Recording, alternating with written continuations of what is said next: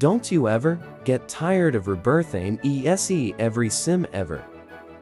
Well, I do, so that's why I'm purchasing this Game Pass here, but I have no Robux. Brew.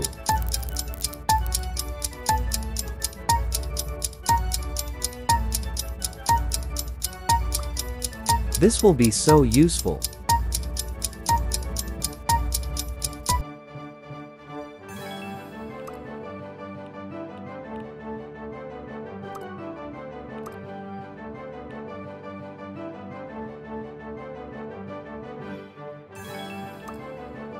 Sorry for the lag on record.